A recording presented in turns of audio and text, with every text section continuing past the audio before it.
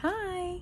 In today's video, I want to dive into a question that I've been asking myself recently, and I want you to ask yourself this question Am I living an inspiring life? Now, what does this mean? When I dive deep into this concept, I ask myself, Am I stepping into and am I moving and grooving through life and stepping into the fullness that I'm being called to step into.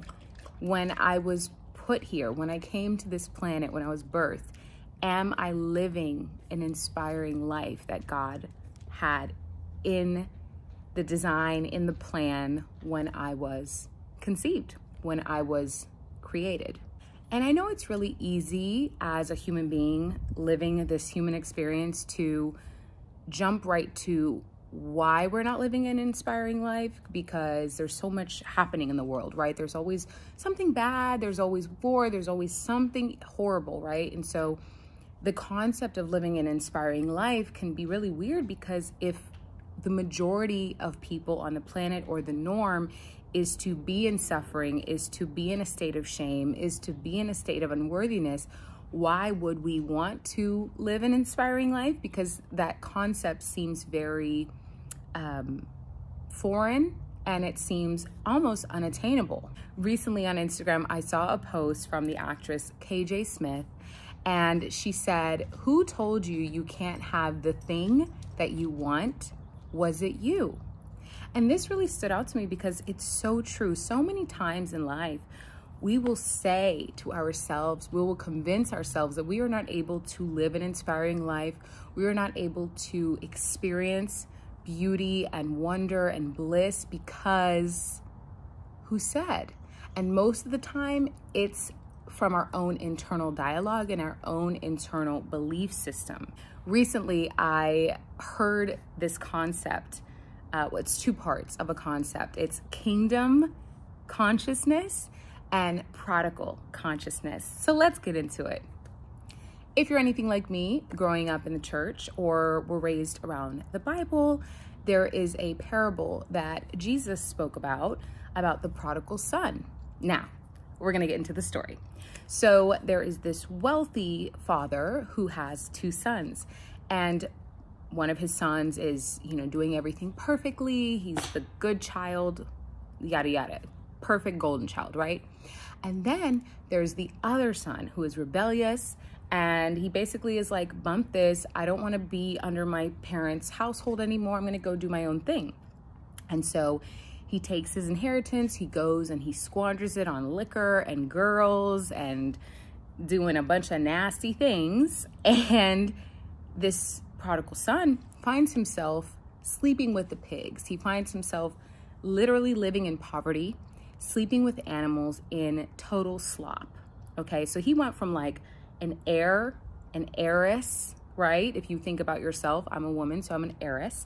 He went from that status of being so wealthy to poverty. But who told him to do this? This was something that he chose to do because of his own belief system. And one day when he was laying down with the pigs and his little piggy friends, oink oink, you know, in the slop, he had a realization, why am I here? I don't have to do this. And so he packed up his little, you know, mud covered bags and decided to go back home. And so in the story, a messenger runs up to his father and says, Oh my God, your prodigal son is coming back. We see him from afar. He's on the way home. And the father immediately says, Kill the best, you know, like get get the food ready get the best fruit ready. We're gonna like have the best meal ever for my son because he's back. And the golden child the one that was perfect the one that stayed home the one that did all the things legit got upset. He was like i'm sorry. You never brought out the best fruit for me. You never threw me a party. And he was salty right? And the father says to the son that was perfect, he said, You always were here in my house. You were always here. You had access to everything every day. But your, your brother, he went away. He hasn't had access to this, but he's back now. And we are going to honor that. And when I think about the kingdom consciousness versus the prodigal consciousness, the prodigal son forgot his identity, okay? He felt so much shame and guilt from, wow, I had all of this. I left home and I squandered it. I squandered my opportunity. And so he put himself through such a terrible situation because of shame, because of the feeling of unworthiness. And at the end of the day, no one told him to do that. But he did that based off of his own belief about himself. When we have kingdom consciousness, when we know that we are a part of royalty, or when we know that we are something special, that the rules don't have to apply to us, we never put ourselves in situations where we're self punishing or where we are staying in a state of shame to where we're sleeping with pigs. And a lot of us, because of shame, because of life circumstances, we choose to not live an inspiring life because we think that maybe we messed up once and we're undeserving. Maybe we messed up twice and we're undeserving.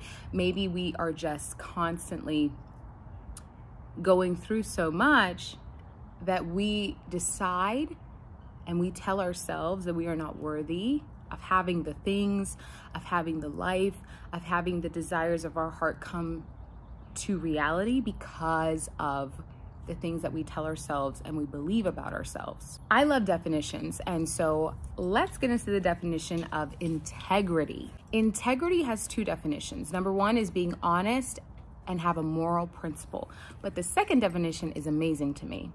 The second definition of integrity is the state of being whole and undivided. And many times, I've seen so many people who are positive and believe in God or believe in the universe. They'll be like, I'm abundant. Uh, the universe always works out for me. God has my back. I'm a daughter of the king, you know, all these things, right? But in the same day, they will go into a state of unworthiness, a state of shame, a state of it's never going to happen to me. It's never going to happen. I nothing ever works out for me and we're they're swayed so quickly. And I'm speaking for myself this has happened to me. When you are living in kingdom consciousness, you're living in integrity because no matter what happens, you are undivided. You are whole in your identity and you're whole in your belief system about who you truly are. No matter the circumstances, you know on a soul level who you are. But when you're living in that prodigal consciousness, you're out of integrity. You are divided. You are not whole in who your identity really is. You feel that you're not allowed to have access to what is already yours and what was given to you at birth because of your lineage, because of who you are. I heard this concept of the buffet of life. And there's two types of people. So let's let's paint a picture real quick. Let's say you go into a buffet. There are floors and aisles and all the different types of food. And let's say someone says, hey, uh, I already paid for you, have fun. An unworthy person, someone who feels unworthy, someone who feels shame, someone who feels that they are the prodigal son, they're living in prodigal consciousness, they will walk in and they'll say, you know, I'm just gonna have a little bit of salad with like maybe a few croutons and some water. Thank you and they'll sit in the corner and eat that. But somebody who understands that they are living in integrity, they understand that they are kingdom conscious, like they have a kingdom consciousness happening, they will walk in that buffet and they'll say, okay, bet, I'll have it all. I will put it all on my plate, the bread, the steak, the pizza, the pasta, the Chinese food, the Indian food, the curry, everything. And even if they can't finish it, it don't matter because it's a buffet. They're not worried about waste. They're not worried about overconsumption. They are just living in integrity in their identity of someone already paid for this. I get to have it all if I want. And I get to just have fun. So many times when it comes to living an inspiring life, we think it has to be this or that. It has to be, I, I messed up once, therefore I have to settle for breadcrumbs and living with pigs. I didn't work this out correctly because maybe I didn't have the right information. So I am destined to live this suffering, shame filled, unworthy life. But when you get clear on who you are, when you are living in integrity and you are undivided in your identity and you are whole, and you know that you are a spiritual being living in a human body, having a human experience, you can't just settle for the prodigal mindset. You have to embrace the consciousness of kingdom mindset. And so the mentality that was this or that becomes this and that. Instead of, you know, I'll have a salad with croutons or I'll have the steak, it turns into I'll have the salad and the steak. When we get clear and remember who we truly are, life becomes inspiring. And the inspiration is not just for us, it is, I truly believe, when every single person on the planet is living an inspiring life and is clear about their identity and is living in integrity, they are creating a ripple effect that will start to inspire those around them to also live an inspiring life because it's contagious. Just like people living in suffering will start to become contagious and more people will be in suffering and will be like, oh, this is normal. But I believe that how beautiful would it be if we lived on a planet where the norm was living an inspired life? When desires pop in our heads, we have a dream, we see it as a preview of what God has already decided for us instead of a problem. Oh, I don't know how that's going to work out. We go into problem solving mode instead of saying, Oh, God, thank you so much for that preview. That means I'm already in it. That means that reality is here. I just need to move and take a step and another step, and resources will start to come as I'm walking in integrity and in alignment. Support will start to come as I'm walking in integrity and in alignment re- abundance, all of the things will start to come as I take integrity steps. Is that the word? Yeah. I believe everybody has a gift. I believe everyone has desires, has things that inspire them. God's design for each of us is perfect. We all have a purpose, and that will look different for everybody. But if we stay in a prodigal consciousness, if we stay in a state of shame, a state of, a state of unworthiness, a state of looking for confirmation outside of ourselves instead of being in integrity and saying, No, I know who I am, I know how it looks, but I'm choosing to head back home. I'm choosing to tap back into the kingdom that I'm a part of. I'm choosing to embrace my true identity because I know when I am in alignment and living in integrity, that is when miracles happen. That is when the rules no longer apply to me and I get to be spoiled. And I get to live a life that's full of abundance, that's full of synchronicities, that is full of inspiration. So I want to encourage you, if you're watching this video, to think about what gifts you have inside of you that keep coming back and nagging at you and you're, you're seeing it as a problem. But I want to encourage you to see it as a preview of what God is trying to show you is possible, of what God is trying to show you that is already here in a timeline. If you would just tap in, babe, I want you to think about what gifts you naturally have. And gifts don't always have to look like, oh, I know how to sing, or I know how to play the guitar, or I know how to do artwork, or I know how to, you know, code. Gifts can look like I know how to make people feel at home in my presence. I know how to make people laugh. I know how to provide the most gorgeous space, no matter what that looks like. When I touch people, they feel healed. When I pray for people, they feel a shift happen. A gift could also be knowledge, that you're super knowledgeable, that maybe you have an ability to listen. And when you start to really get down to what are my gifts? Because I believe everyone has more than just one. Ask yourself, are you sharing it in some way? Are you waking up and being a vessel that God is able to create through and work through so that you create a ripple effect with your embodiment and make the world a better place by your little corner of the world. I believe that God gives every single human being a gift, but when you receive it, when someone gives you a gift, you have to actually receive the gift first. I think about if I gave my niece or my nephews a gift and they looked at it and then they looked away and they're like, oh, life sucks. I'd be like, but I just gave you a gift. Do you want it or not? And I think a lot of times when we live in that prodigal mindset, that's what we do. When God gives us a desire, we look at it and we're like, oh, I don't have time for that right now. But I'm giving you a gift.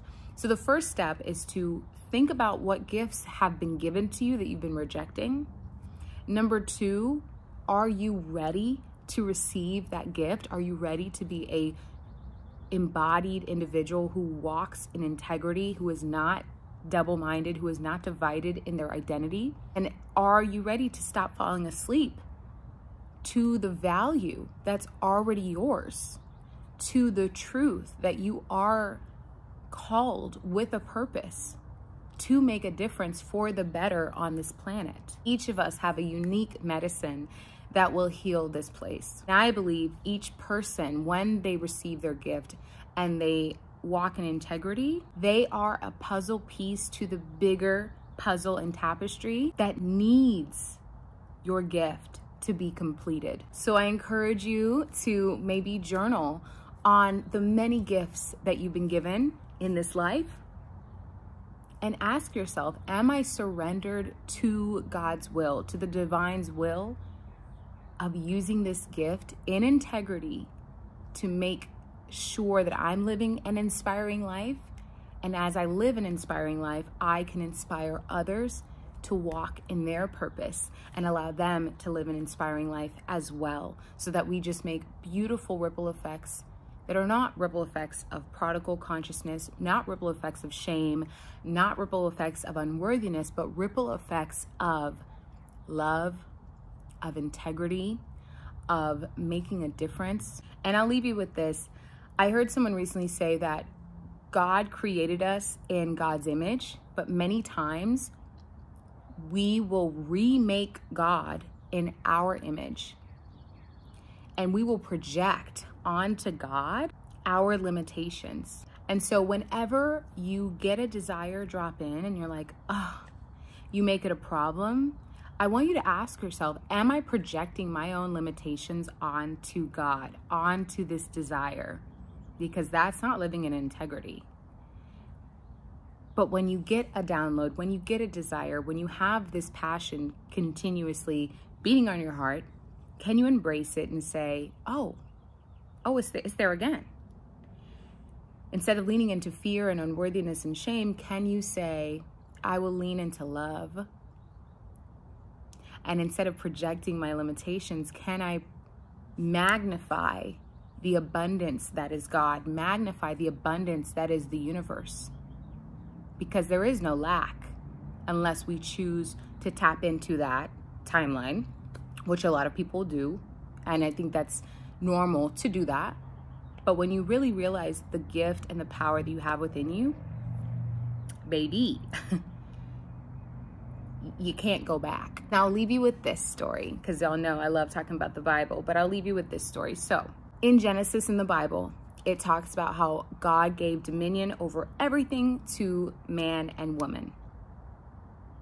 And then if you fast forward to Matthew, where Jesus was led into the wilderness to literally be suffering for like 40 days, right? He was in the wilderness hungry, probably hangry, stressed out, whatever. He was going through it, okay?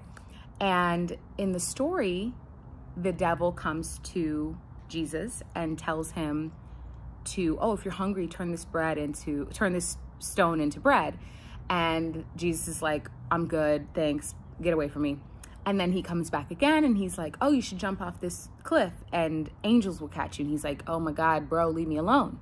Then the third time, the devil comes and says, hey, look at all of this land. He shows him all of this land and, and all the kingdoms of the world. And he says, if you bow down to me, I will give you dominion over all of this. And you know what's crazy is Jesus said, back the heck up. get out of my face. I'm hungry, I haven't eaten, I don't have time for your shenanigans.